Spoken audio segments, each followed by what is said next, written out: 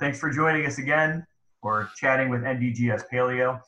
Um, for anyone who's new, I am uh, Dr. Clint Boyd, and I manage the Paleo program for the North Dakota Geological Survey. Um, also with us today from the Geological Survey is Becky Barnes, our lab manager, and Jeff Person, our collections manager.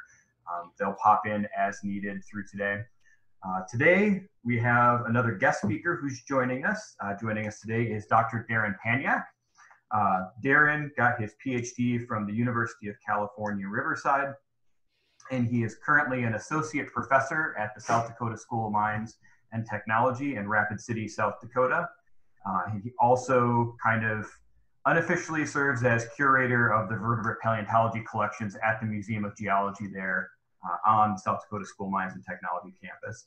Uh, we do a lot of collaboration with Darrin and his group since they're just right next door in South Dakota. We've got an active project going on right now on some Oligocene, Miocene, about 25 to 30 million year old fossils uh, from South Dakota and comparing them to the North Dakota record.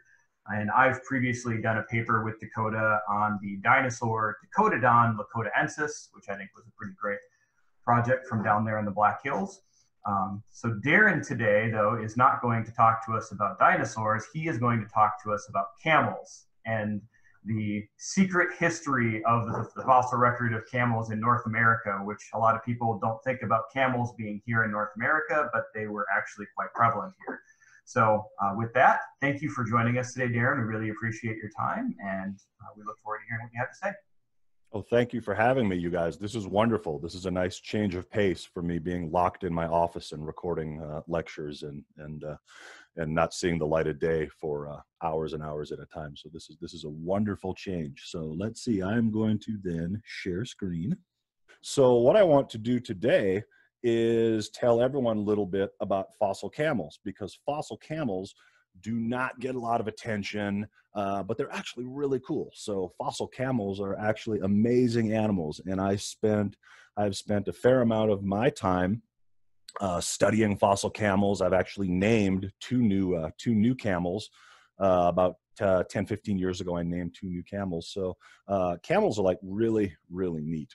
And this slide, uh, starting the whole the whole talk here, is a slide that's going to show some of the diversity here that you'll see of camels in the past. So here is the average sized human. You can see we have some amazing different types of camels. We've got our modern dromedary and uh, Bactrian camels here, but we'll talk a little bit about the diversity of camels that you uh, that you see in the fossil record. And the take home message here is that camels have done a lot more throughout geologic history, throughout prehistoric time, than they have done than uh, than we see them doing today. They're doing a lot, a lot more. So, first off, what is a camel? What are camels? Well, let's start with the definition that we have today. What are camels today? Well, today we recognize camels as occurring in two major groups. The first are the camels that we all sort of know and love. We have the dromedary and we have the Bactrian, the one hump versus the two humped forms.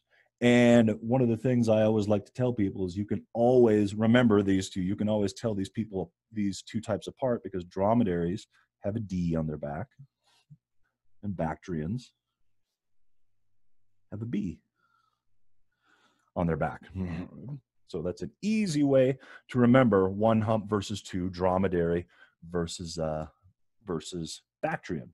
The dromedaries, of course, live in uh, Africa and the Middle East, and the Bactrians live in Asia. And one of the things you'll see here is that the Bactrians are a little shaggier, they uh, uh, are a little bulkier, and that's because they tend to live in uh, colder, high desert, or even uh, uh, forested environments in in Central Asia. Right. So again, not the typical sort of camel scenario that you'll see. Usually, this is where you you see the uh, the camels. Uh, um, this is usually what you think of when you think of camels, or these dromedary camels out in the desert. Now, the other half that people are usually somewhat surprised about are llamas. Llamas are actually camels as well. And so down in South America, we have a whole different subset of camels uh, that migrated down there. So we've got things like the llama pictured here and the alpaca pictured here, these are the domestic forms of camels from South America. And the alpacas are generally a little furrier, a little fluffier. They, of course, have the wonderful alpaca uh, wool or fur that you see.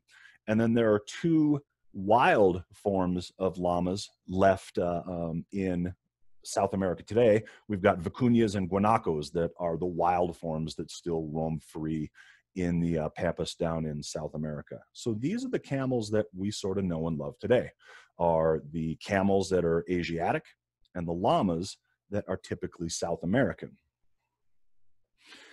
Now, taking this question a little bit further, what exactly is a camel? How do we define a camel, particularly as paleontologists? Because as paleontologists, all we have to deal with is the skeleton.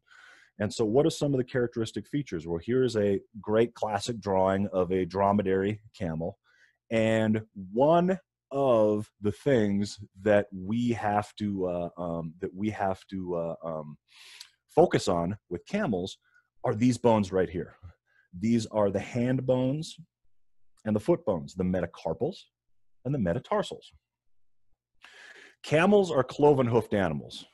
They have a split hoof. They're related to deer, cattle, giraffes, hippos, all that sort of thing. And they walk on two toes. And they basically walk on what will be our middle finger and our ring finger.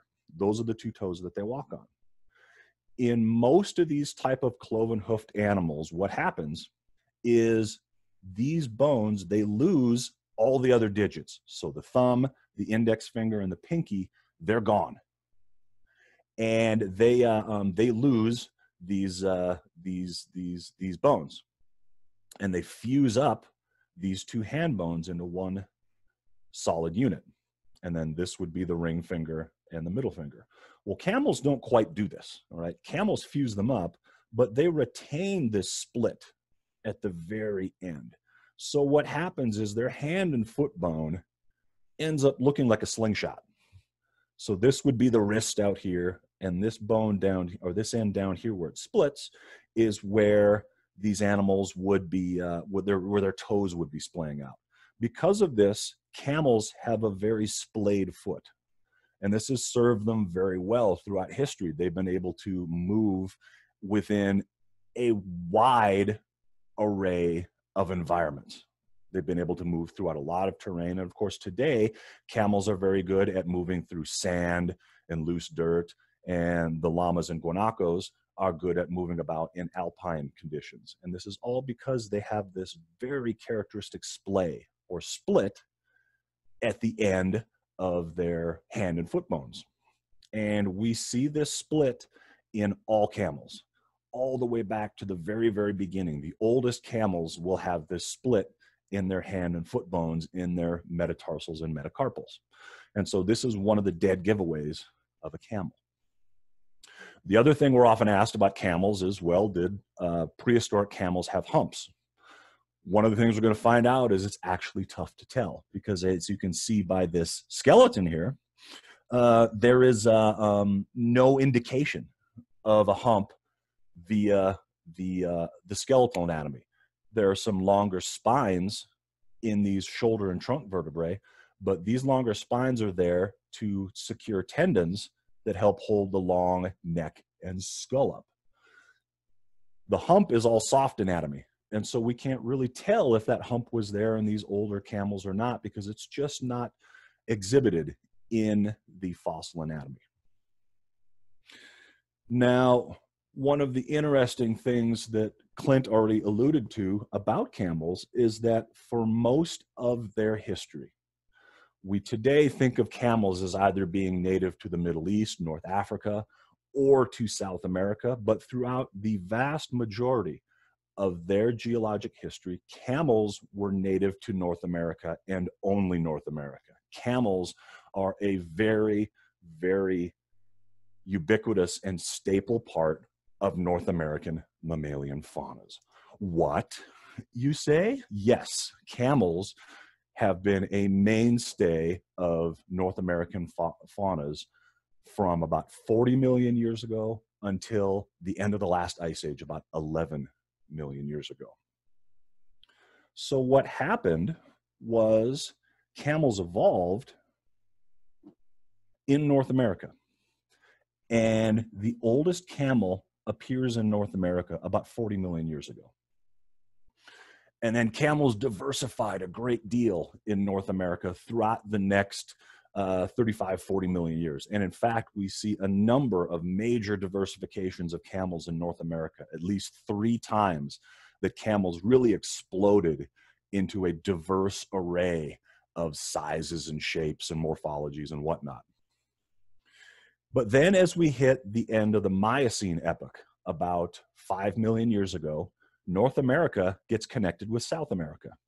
And at about 5 million years ago, camels moved south from North America to South America. And this is where then we uh, uh, we get uh, um, our llamas, vicuñas, guanacos, and that sort of thing evolving down in South America. And then a little later, at the end of the last ice age, when Alaska was connected with Asia, this is when the ancestors of, of modern camels migrate to Asia. And so we get the Bactrian camel settling in Central Asia, and then we get the really intrepid camels out here moving to North Africa uh, and becoming the dromedaries. And so, as a consequence, some of our oldest existing camels are going to be the camels that are down here in South America.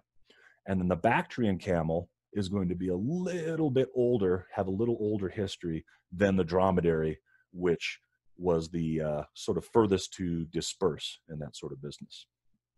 But for the most part, we can see a vast array of camels of different sizes and shapes occurring in North America. And for most of their history, camels occurred nowhere else except North America. It was not until very recently that camels uh, um, existed outside of North America.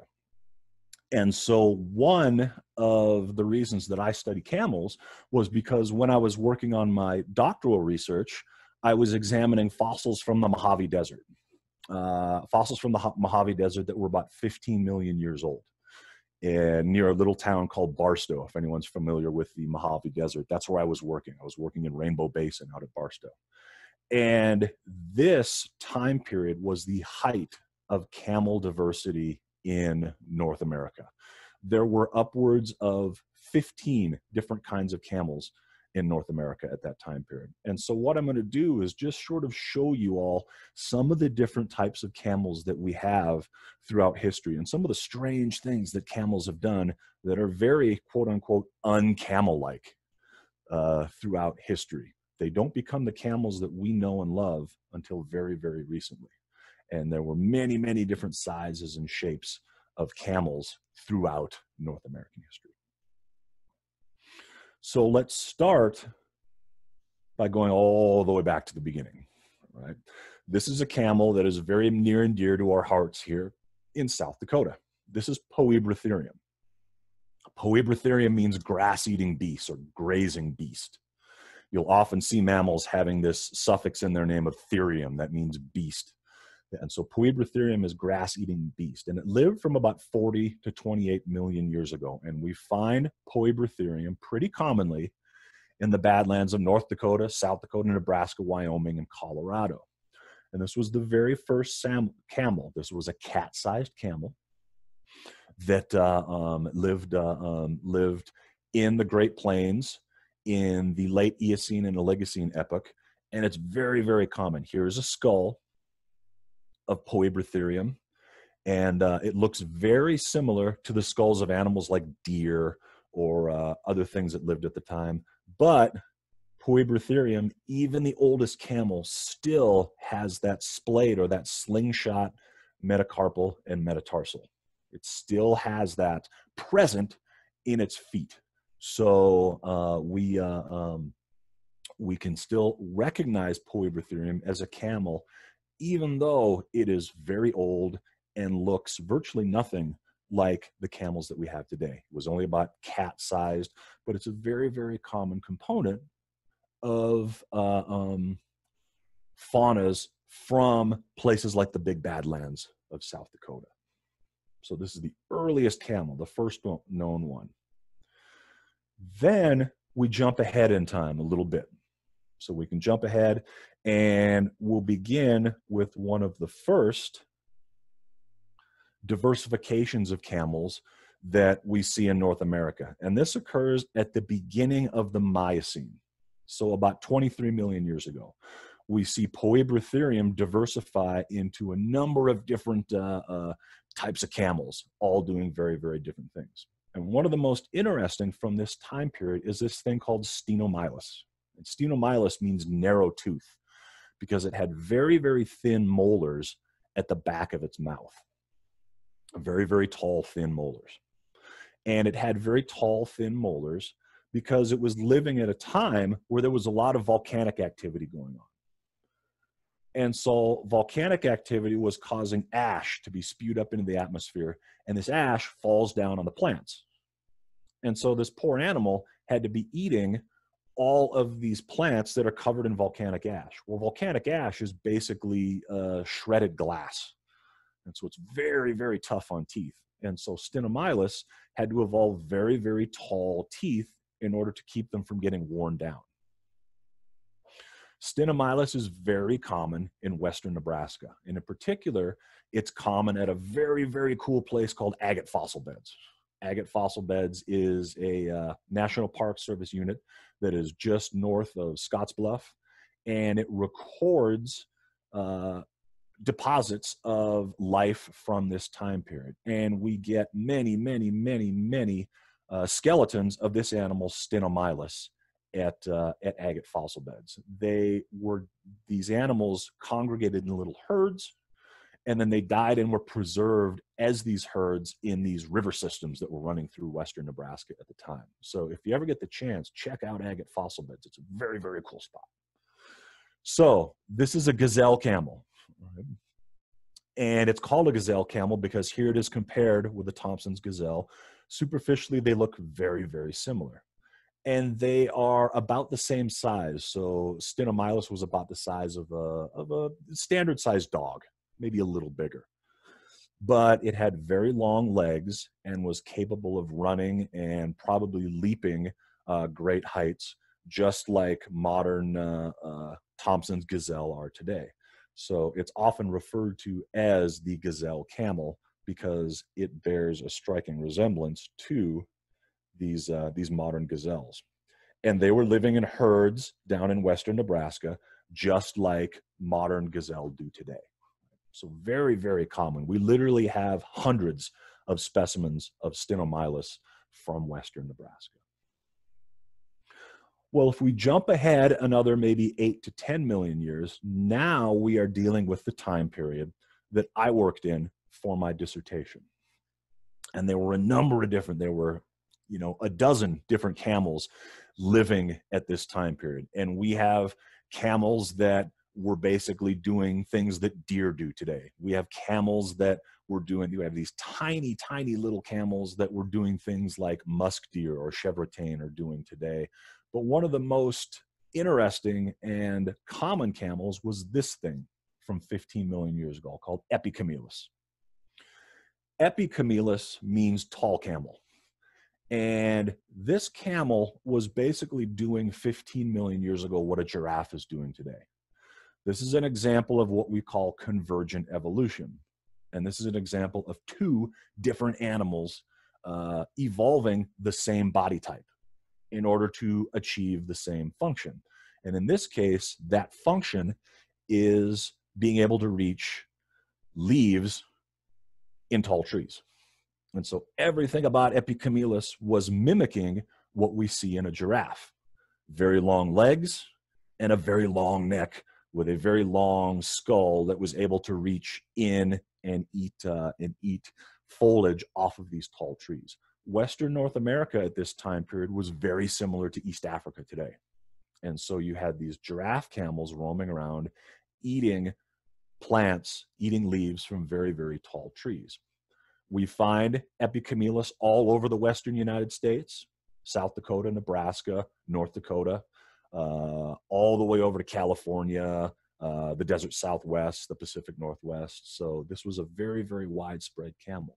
It got to be about 12 feet tall, almost as tall as modern giraffes, not quite, but almost as tall. And uh, um, again, a wonderful example of what we call convergent evolution, or an animal uh, converging on a particular body plan, in this case, a giraffe, in order to suit a particular need, which is uh, um, uh, eating plants in tall trees. Well, if we jump ahead a little bit further, now we're at about eight to two million years ago, and we get this camel, which is pretty amazing. This is Titanotylopus, which means giant knobby foot. And you can think of this camel as basically uh, uh, uh, being a, um, a regular camel, but really beefed out on steroids. It's just huge. It's a huge, major giant camel. So Titanotylopus was the largest camel that ever lived. This is a skeleton of Titanotylopus from, I believe, the American Museum. And you can see it compared with the skeleton of a person. And so by this time, one of the things that we are seeing is that we can begin to see the relationship between these ancient camels and llamas versus camels. And I have a little camel up here because Titanotylopus was closely related to modern camels. Aepycamelus was most closely related to llamas, hence the little llama up there. So this was a giant camel that lived in the western United States and Mexico. We find it all over the United States and Mexico, and it was huge. This is the largest camel that ever lived. It's even bigger than Aepycamelus. They were about the same height, but this was a much bigger, beefier, bulkier camel that was very, very common throughout the western United States. And it lived until about the beginning of the ice ages. So it was roaming around western North America at the beginning of the ice ages. So this is the largest camel that has ever lived in the history of the world. Here you can see an example of Titanotylopus compared to a six foot uh, modern human, and it's compared to a modern dromedary or a single hump camel. Uh, so it's again two to three times bigger than a, uh, a modern camel. Now, standing next to Titanotylopus in this drawing here is a picture of uh, uh, um, Camelops, Camelops hesternatus, which is the last camel that we'll discuss today. And Camelops is pretty cool because Camelops, which means camel face, existed from 2 million years ago to about 11,000 years ago. This was the last camel to be indigenous or native to North America. This was the last North American camel, and it survived right up until the end of the Ice Age. And in fact, we have camelops from all over the western United States and Mexico. It's actually very common from the La Brea tar pits. So we know that camelops was getting stuck in the tar uh, the same way as uh, as uh, um, all the other animals were getting stuck in the tar. And so Camelops is the last North American camel. Again, about the same size as a modern dromedary. And one of the things we can see again is again, based on its skeleton, it's tough for us to tell if these camels had a hump. We know modern camels, their hump is there to store fat to help them get through lean times, uh, lean times in the desert. But we don't know if these prehistoric camels needed these humps to get by.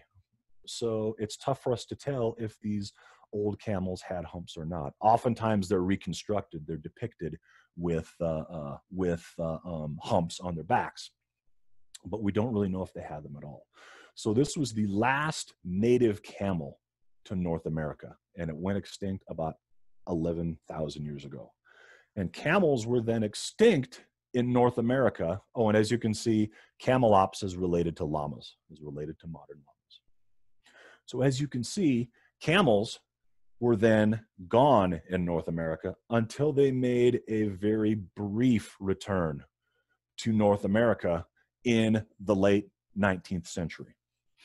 So in 1855, because the US cavalry was all over the western United States and conditions in the western United States were very arid and very dry, um, someone proposed that maybe we should use camels in western North America in order to get around and to uh, uh, ferry uh, uh, goods and mail and whatnot. So from 1855 to 1864, the U.S. Army actually had a camel corps in Western North America, and they brought about 70 camels from the Middle East to Western North America, and there was a whole unit in the U.S. cavalry that moved about with camels. Here's a photograph with a camel outside a post office in, I believe this is in Tejon, California, where the uh, camels were doing uh, their work for the U.S. Army.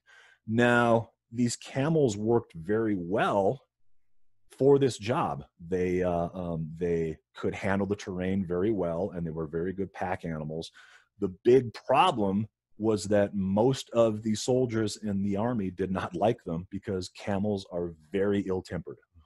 They are very, very ill-tempered animals, and they also didn't get along with the horses. The horses were actually scared of the camels. So the U.S. Army Camel Corps was disbanded in 1864. And the last wild camel left over from the uh, Camel Corps was seen wild in 1941. And we haven't seen uh, uh, camels since. So camels made a brief reappearance in North America, but unlike horses, they really didn't. Uh, they really didn't take off uh, as well. So that is what I have for you. Very uh, uh, brief overview of some of the diversity of camels that we see in North America throughout the uh, uh, the uh, um, uh, um, Western United States and throughout uh, history. And with that, I will be more than happy to take your questions. All right, I think I'm just going to keep us in gallery view. It'd be kind of kind of fun this way. Okay, yeah, cool. so our first question would be uh, you've pretty much already answered that, um, but we can just review it again. Uh, are there bones in the hump of a camel? No, there's not. So there's not bones in the hump of a camel. Um, the uh, the hump is composed of fat. So the animal preferentially stores a special kind of fat in that hump that helps it get through uh, lean times. There's a lot of lean times in the desert where these modern camels uh, um, uh, don't get a chance to get food and water, that sort of business. And so, uh, um, no, there's no bones in the hump, which is why, again, we have a tough time telling if these old camels actually had humps because the skeletal anatomy doesn't really show us any bones in the hump. Um, they do have some elongate spines on the vertebrae between their shoulder blades, but those elongate spines are acting as an anchor uh, to anchor all the tendons from that long neck and that big long skull at uh, the end of that neck. So those serve as more of an anchor for their neck and head rather than to help support the uh, the the hump on the back. So based off of their feet, uh, how closely are sheep related to camels? Camels and sheep are actually in the same major group. They're in this group called Artiodactyla, which basically means they're cloven hoof. They walk on basically these two these two feet right here. Now they are a little more distant related. For example, sheep are very closely related to things like cow or African antelope, uh, um, that sort of thing. Uh, camels are a little more distantly related, and camels are a little more distantly related because uh, of how they process their food. All right, so sheep are what we call ruminants. They have a, a, a, a complex system of stomachs that help them uh, digest their food. Uh, camels don't have this. They don't have quite as complex a digestive system. But based on their uh, their split hoof, they are in the same major group of cloven hoofed animals, the group that includes deer, sheep, cattle, that sort of thing. But camels would actually be more closely related to things like pigs or uh, javelinas. They would be a little bit more closely related to them. Maybe a little more closely related to something like a giraffe than to a sheep. Uh, back to their toes again. Uh, so yes. they had split toes. Did they have hooves like horses or or like sheep, or did they have something else? So they have kind of, as best as we can tell, uh, they did have they have reduced hooves. Even modern uh, camels have don't have like major big hooves like horses or cattle do. what they have are uh, um, uh, um, uh, uh, sort of reduced hooves out at the ends of their fingers. But because their toes are so splayed out, what they have are these big pads all around their feet. And these pads help them navigate in soft terrain. And modern camels can walk through the grass, uh, or excuse me, through the sand, uh, um, and uh, um, get traction because of these big, large pads.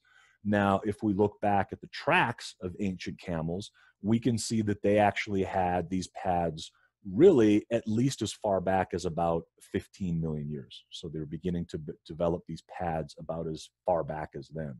But the further back we go, we think that these camels were actually having a bit more hoof like things, particularly with those like gazelle camels that were probably doing more running. Modern camels really get about by like kind of just walking slowly from point A to point B, conserving their energy. Uh, and so these pads work a lot better for that. But as we go further back in history, they probably had a bit more uh, hoof like uh, toes just because they were doing a little bit more running and leaping and that sort of business. Can you go into a little bit more detail explaining the land bridges on how the animals would have gone from North America to Asia to Africa? Absolutely. So, what happened first is North America was during warm periods, North America was isolated uh, from Asia and South America. And that's because sea level was high, sea level was up. And so the animals were sort of locked in uh, to North America. But when times got cold, these giant glaciers began to extend from the north down to central North America. And these glaciers basically sucked up all the ocean water. So ocean levels dropped. And when the ocean levels dropped, that's when these land bridges began to form. And so the first one formed between North America and South America, basically through the Isthmus of Panama, about four, about, about know, five to three million years ago. And this resulted in an event we call the GABI, or the Great American Biotic Interchange. And so South America had been separated from North America for 30 million years. And so there were totally different kinds of animals that lived in North America and South America. Now all of a sudden they were connected up. So South America got camels. South America got horses. South America got dogs. South America got uh, elephants, mastodons, and mammoths, that sort of thing. And North America got porcupines. North America got possums. North America got uh, things like nutria and that sort of business. North America got giant ground sloths. North America got glyptodons, so these giant uh, Volkswagen-sized armadillos. Uh, and so uh, um, and so these things were going back and forth. So this is when the North American llamas made their way south. Then, at the end of the last ice age, was when the land bridge uh, formed between North America and uh, uh, Asia. And these ice age camels, like Titanotylopus and Camelops, were actually adapted to live in the cold. And so they were living way, way up north in Alaska and the tundra and whatnot. And when this land bridge formed, things like camelops made their way across the land bridge over to Asia, and then they became the Bactrian eh, uh, camels of Central Asia first. And then these Bactrian camels migrated their way down to the to the Middle East and became the one hump, the dromedary camels that we have today. So camels are actually a great example of what we call biogeography. And biogeography is how animals migrate and move to the areas they live at today, and hence how they evolve in response to the areas. We have a little bit of difference between Bactrian and dromedary camels because dromedary camels uh, uh, uh, are uh, um, are uh, um, uh, adapted to a more arid desert environment, whereas Bactrian camels are adapted to um, a little more temperate kind of seasonal environment. I know people get worried over here with our zoo. They look at our camels like, oh, it's cold outside. Aren't the camels freezing? It's like, yeah, do you see the layer of snow sitting on top of the camel? The camel's fine. They're doing fine. Bactrian camels can handle yep. it. Yep. Hmm. They're just fine. Yep. All right. So with camelops and how young it is, uh, and with the whole ice age thing, uh, have there ever been any like mummified or permafrost camelops found, or anything that's not necessarily fossilized?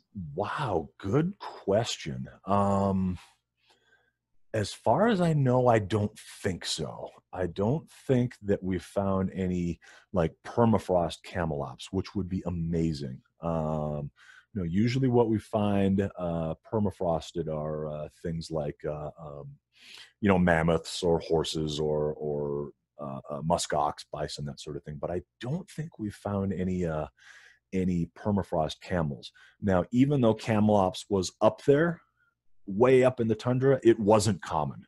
It wasn't a very very common occurrence. So the chances of it getting preserved in permafrost are lower simply because there weren't that many of them.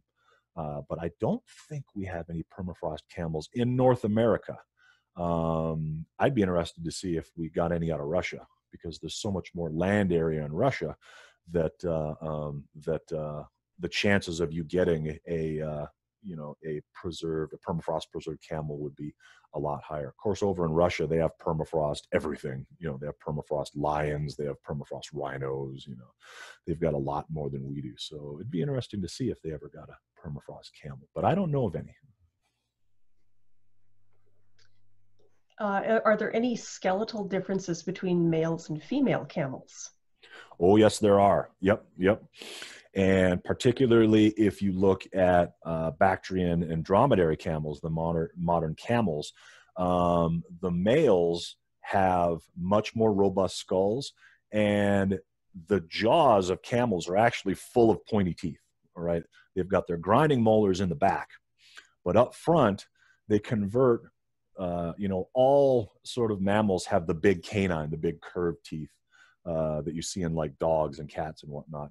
Camels have those, but camels also convert their last incisor and their first premolar to a big uh, canine tooth as well, a big curved, sharp tooth. So they've got like one, two, three, four, five, six of these big canines. And the males are actually kind of nasty. They like nip and bite at each other and stuff with these giant uh, these giant teeth. Camels are very ill-tempered. They are they are very very ornery critters, and so the males have much bigger uh, um, much bigger canines, much bigger teeth, and much more robust skulls than the females do. This is exhibited to a certain degree with llamas, although it's not quite as as obvious in llamas as it is with camels. And we can then even see this going back in time. We've got enough of uh, enough skeletons of camelops that we can uh, uh, we can uh, um, see some differences between the males and females in camelops. The further back we go in time, we don't have quite as many skeletons, so it gets a little more difficult to tell. How fast can a camel run? Oh boy, good question. Camels never really, modern camels never really run, I don't think. Camels are interesting. So the way they run is they pace. And what that means is they do one side versus the other, one side versus the other, one side versus the other. And they have employed this gait for at least 15 million years. We can tell by their tracks that for at least 15 million years they've been pacing like this. It's the opposite of what a horse does, where a horse kind of does this, like that. Pacing is a very good gait for walking long distances. It's not a very good gait for running. So camels generally don't do much in the way of running. And I'm just kind of pulling these figures out of my head, but I'd wager that a camel is probably not going to do much more than, say, 15, 20 miles an hour. So they're probably capable of going faster if need be. But um, based on my experiences with camels, they're not running around. They're facing a predator and being ornery. So, um, but I would say, you know, topping out maybe 25 miles an hour. So during lean times, if the humps were made out of uh, fat content, would they grow or shrink? They do shrink. They do shrink. And in fact, one of the things you can see, particularly with Bactrian camels, because they have taller humps, during lean times they'll actually start to kind of fold over a little bit because the, the fat is getting less dense. So um, yeah the fat is getting less dense. There's getting to be some cavities in there. And so yeah you can tell when a bactrian isn't quite as well fed because those humps will kind of fold over. And they will shrink in the dromedaries as well although the dromedaries have kind of a bigger uh, uh, uh, wider, more broad uh, uh, humps. So it's a little le- little more difficult to to see that, but it's very obvious in Bactrian camels. Would the humps have been similar to the the large humps seen on modern bison? Um, a bit, yes, yeah. Um, the humps seen on bison now do have somewhat similar of a purpose. Um, they do store some fat in that hump, but it's not quite as extreme as what we see in camels. A lot of a lot of the hump in the bison is also big, thick shoulder muscle mass that is helping the animal hold that big, that big head up and helping the animal run. But it is somewhat similar. Yes. So back to the the army using camels. We have a question of did they fight while sitting on a camel? The U.S. Army did not. No, the U.S. Army uh, uh, did not fight while sitting on the camels. In the United States, these were just for uh, for uh, uh, moving products. They were pack animals, um, and in fact, in the unit in the the Camel Corps, they didn't ride them very much at all. They were much more pack animals. But if we go back to the Middle East, uh, there have been several instances throughout history where there were actually camel corps. There were there were instances of uh, uh, cultures in the Middle East using camels in war, and they would fight with swords and lances from the backs of camels. Yes. All right, we have a question for everybody, so we'll rotate through. Uh, I'll answer first. So, have you ever ridden a camel? Yes, I have. Uh, there were camels at a recent zoo we went to, so we rode a camel at the zoo. How about you, Darrin? I have not ridden a camel. One, I have never gotten the opportunity, and two, I'm a big guy. I think I would need Titanotylopus to to ride. I don't think I could fit on on a. I don't think a modern camel would do very well with with six foot five, three hundred pounds of me on its back. So they'd get even more ornery. Yeah. I have not, but it's been on my bucket list. It's something I've always wanted to do. Uh, ornery or not, I I it's something I I think it would be a lot of fun. And I don't know if I'd want to do a Bactrian or a dromedary, but I would think a Bactrian would be a little easier because you can, you know, maybe sit between those two humps. I, I don't know. I think I think it sounds like fun. They do have a really weird gait. It feels really weird. How about you, Clint? I have not, and I have no desire to be within reaching distance of a camel. So um, I'm just going to leave it at that. What's your favorite dinosaur?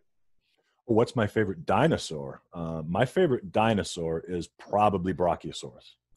Uh, I actually did my master's thesis on dinosaurs. I studied sauropod dinosaurs, the long neck plant eating uh, dinosaurs for my uh, for my master's thesis, and uh, um, so I like uh, I like sauropods. And when asked why, it's always because well, sauropods were huge; they were too big to be bothered by anyone, and they pretty much just hung out and ate, just like me. So that pretty much describes me to a T. So, yeah, yep.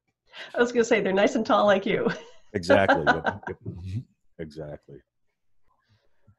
All Uh, right. Can I, can I chime in with one question? Might be a little technical for some of the other viewers, but uh, just because we're on the subject. Mhm. So, what is the comparison, Darrin, between um, Titana, what was it, Titanotylopus, Mm-hmm. Megatylopus, and do we have evidence that maybe they were interacting? Uh, I think they were both alive at the same time and maybe interacted biogeographically. I, I don't know.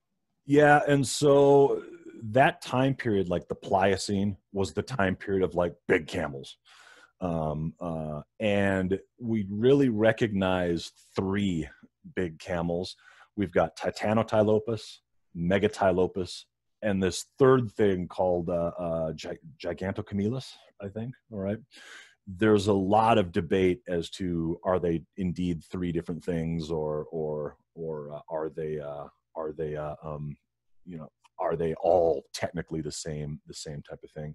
And i don't think everyone anyone has really addressed that appropriately uh, because again that involves uh, going and doing boring taxonomy that uh, that you know no one really likes to do and no one cares about camels anyway so i'm the only one in the world i think who cares about camels in terms of paleontology so they're not a popular group so yeah yep my sense is that i doubt there were three giant camels living alongside each other so that just doesn't make a lot of sense i think we're probably just you know finding a male versus a female here and we've just named them two different things because they have very different uh, skeletal features. So yeah, yep. But were they were they indeed three different taxa? Yes, there would have been three. Um, they would have certainly lived at the same time period. I'm not certain about the biogeography. Um, if we find like one in the Midwest or one uh, one uh, um, out in like the West Coast or something, I'm not certain. The, the Pliocene camels aren't really my specialty. I was much more back in the Miocene. If I remember correctly, what you're describing, Titanotylopus, is more northern. And Yep. from what I understand, that Megatylopus was primarily, you know, Hemphillian and you know down in Oklahoma, Texas. That That makes sense. Maybe they didn't even interact. They might not have. Yeah. Yeah. Yep. First, I have a quick question for Darrin. Oh, okay. Um, Darrin, um, not so much a question as a request. Um, at some point, we should um, take that camel holotype that we re-prepared at Mines there and describe that new material that we found in the block. Oh yes, the one from uh, Big Big Springs Canyon, right? Mhm. Yes, Procamelus grandis. Yes, we should. We Yeah, should. for for uh, Jeff and, and Becky, Yep. uh, Mindy was doing some repair work on the holotype, and part of what was with it, there was a couple bones that were in a big block of rock, and so while we were doing the work, it was kind of like, well, why don't we just keep prepping that block of rock? And there ended up being a whole nother set of bones in the block that were never seen before, including I think the sacrum was in there as well. Um, so just something at some point we should maybe follow up on is um, get that new material described that might help out with some of the camel stuff. Absolutely, yeah, yeah, and and that thing is Procamelus. Procamelus is going to be the uh, the ancestor of all these big camels, like like this this this guy that you this feller that you see here that is uh, our boreal camel. So yeah, so that would begin to uh, begin to address some of those questions because yeah, those Pliocene camels are kind of a mess and they could use some they could use a little attention. So, all right. So moving on to tomorrow. Again, thank you, Darrin. This was great. Um, I really Absolutely. enjoyed the talk. Thanks for joining us. Uh, tomorrow we will be talking with Dr. Holly Woodward uh, from Oklahoma State University, and she is going to talk to us about bone histology. So some of our guest speakers have talked about, you know, taking bones from various animals. Mostly we've talked about dinosaurs and cutting very thin sections out of them and looking them under the microscope to look at growth um, and age and things like that. And so Holly is one of the experts at doing that type of work. And so she is going to come and talk to us about the work that she's done. And I know that in particular, one study she's worked on recently has been looking at the histology of tyrannosaurs and learning more about how tyrannosaurs lived and grew. And so uh, maybe she'll talk to us a bit about that and maybe about some other dinosaurs as well. So uh, join us tomorrow, which will be a Wednesday, April 15th uh, 10 a.m. Central Time, and we'll talk all about bone histology. And so thanks for joining us today, and we hope to see you all tomorrow.